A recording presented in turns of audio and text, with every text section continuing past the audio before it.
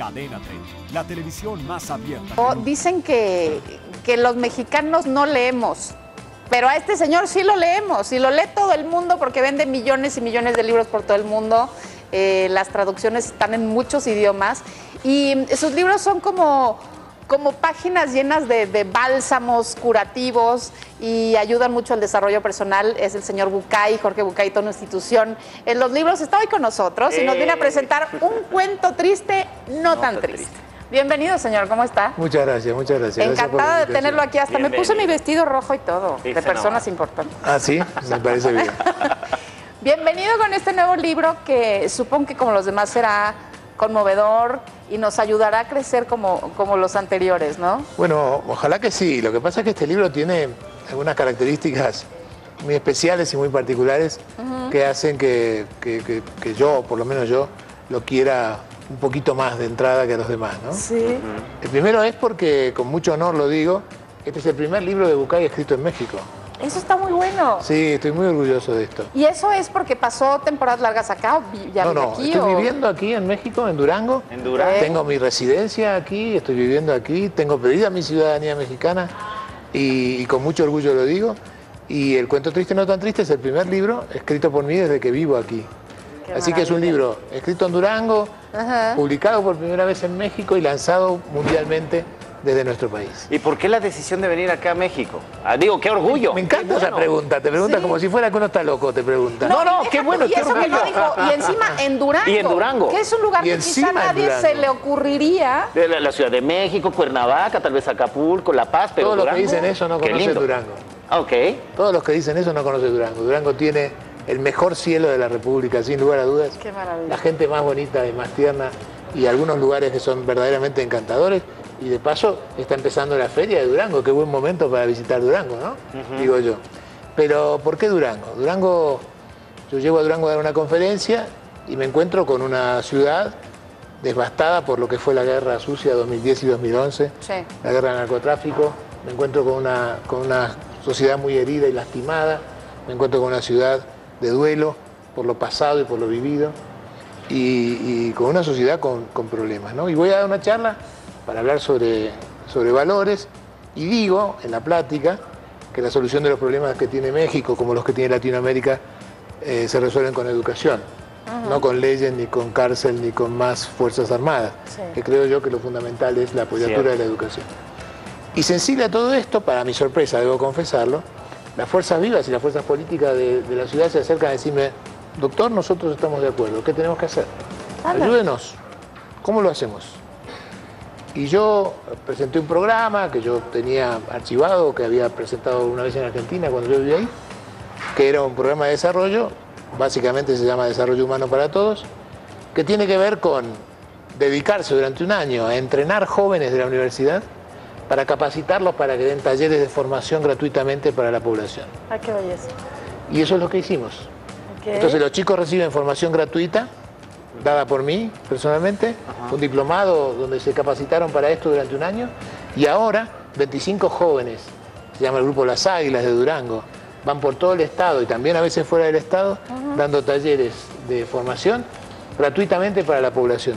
No, pero es una maravilla. ¿Esto tiene eso. desde cuándo, señor Esto Bucay? hace ya un, un año y medio y el programa está funcionando, ya pasaron por nuestras, por las manos de los chicos 3.000 personas, pensamos que van a pasar unos cuantos miles más. Los van a invitar a vivir en Tamaulipas, en Jalisco. Hemos recibido de verdad invitaciones para ir a trabajar y estamos dispuestos. Yo, la verdad, yo no, yo no quiero nada por este programa, está a disposición de todos. Aprovecho esto para decirlo. Cualquier municipio del país, cualquier estado, cualquier persona que quiera implementar un programa como este, la verdad que es sencillo, tiene costo cero para el Estado, tiene costo cero para la gente, tiene costo cero para la comunidad. Qué maravilla. Pero reditúa mucho a fin de Y yo creo que sí. Así que bueno, te imaginas, ¿no? Con Ah, esta no, propuesta pues de hacer qué esto, que era un sueñito. razón. Y ver si hacemos. Entonces, Durango me abrió las puertas para esto. La Universidad Juárez me, me- me da el honor de pertenecer como docente a la universidad. Así que con la complicidad del rector, de- de- de- del gobernador y del alcalde municipal, montamos este proyecto que por suerte ya lleva un año y medio y que, bueno, nos llena de satisfacción a todos y, y de alguna manera me llena de satisfacción a mí. Pero de todas maneras, y más allá de esto, la verdad que vivir en Durango es un placer. Durango no es lo que fue. Lo que pasa es que, claro, la- ustedes saben esto, ¿no? Las heridas que dejan las catástrofes, un Sí. tsunami, un terremoto o una guerra. O la violencia, claro. O una La guerra. violencia. Las heridas que dejan se instalan rápidamente, pero no se disuelven rápidamente, se disuelven con mucho tiempo. Entonces, cuando yo llegué a Durango, me encontré con el panorama de que 8 de cada 10 familias tenían algún muerto que recordaban en la familia. A 8 de cada 10 personas, un tío, un primo, un amigo, un novio, un familiar lejano había sido secuestrado, torturado, muerto, desaparecido. Y con este dolor, de alguna manera yo pensé, bueno, tengo que hacer algo, ¿no? Algo tengo que hacer, digamos, más allá del programa, algo tengo que hacer. Y se me ocurrió escribir un cuento. La verdad que esa fue la idea. La idea fue De ahí escribir un el cuento triste, no tan triste. La idea fue escribir un cuento cortito que hablara sobre esto, sobre que hablara sobre lo más doloroso que le puede pasar a una persona, que hablara sobre las madres que pierden un hijo. Sí. La verdad, esta era la idea original. Y empecé a escribir un cuentito corto, que se hizo un poquito un cuentito no tan corto, después se hizo un cuentito largo, Y después capítulo. terminó siendo una novela corta, y después lo paré ahí porque si no se iba a transformar en una novela larga. Y, y entonces se diseñó, apareció este cuentito, digo cuentito porque tiene 100 páginas, porque se lee en, en un día o en una tarde, Fácil, sí. y, y porque deja muchas cosas para pensar, espero yo, ¿no?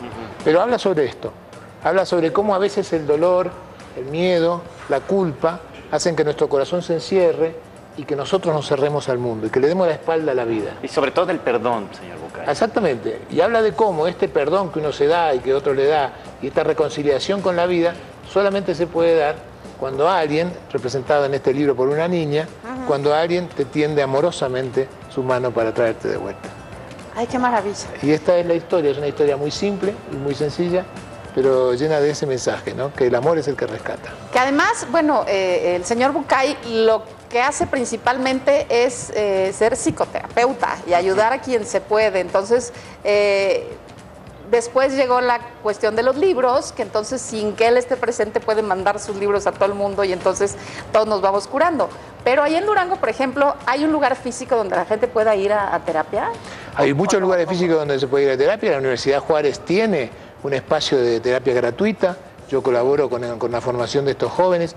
Yo personalmente no hago más terapia asistencial porque viajo tanto que no se No puede estar abandonando. tiempo, ¿no? pues no se puede estar abandonando Sí, a los no, pues pacientes. no. La terapia es un hecho personal, ¿no? Es una Hay que cosa. estar ahí. Hay que estar ahí, como Sí. ustedes, ¿no? Digo, ustedes, ustedes de alguna manera este, le dan una ayuda a la gente que está allí, para quienes muchas veces ustedes son su única compañía. Claro. Pero si ustedes estuvieran viajando este, tres de cada cuatro semanas, la verdad es que no podrían Sí. tanto estar aquí en este contacto permanente.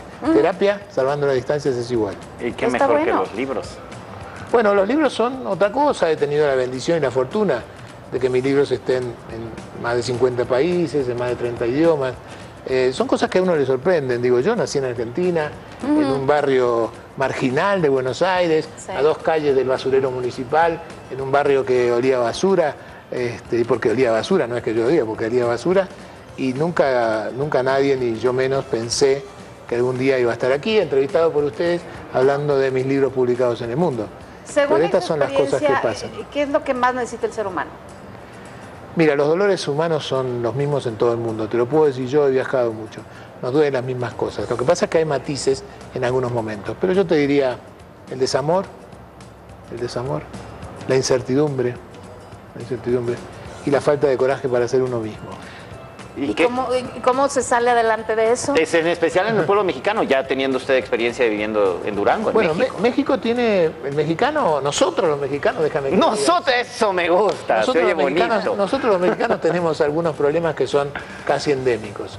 Y uno de ellos es la baja autoestima. Es el verdad. mexicano no se puede creer lo que le pasa. El Cuando es algo bueno, ¿no? De Claro, repente. no se puede creer, no se puede creer. Y entonces se ocupa de ver cómo hace para perder el partido con Holanda en el último minuto. Se, ocu- se ocupa de ver No cómo hace.